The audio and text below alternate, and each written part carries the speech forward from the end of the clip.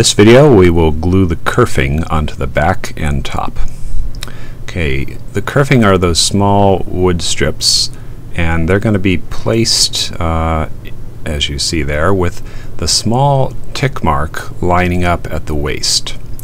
We use wood glue and you want to dab some wood glue uh, about once, uh, one little dot every three quarter inch or so all along the length of it, something like that continue all the way down one um, strip of kerfing. and then you'll spread this glue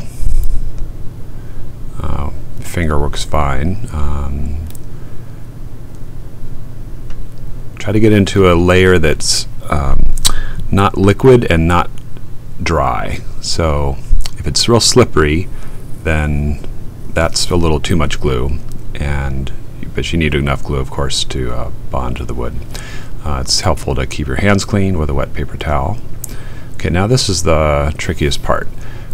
We start with a waist, and we want to line up those little tick marks uh, that are both on the kerfing and on the waist.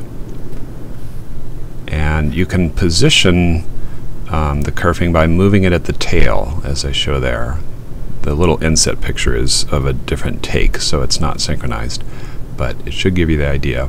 And what you want to do is push down for about five seconds, and that will be enough to get the glue to stick and keep the kerfing from moving. But you do need to get the kerfing carefully uh, between the lines. You want to be within preferably a 64th along those kerfing lines. So we do the lower bout and then we go back up and do the upper bout. If you have two people, then you can have um, you can work on lower and upper bout simultaneously. Uh, this is how good of a fit you want.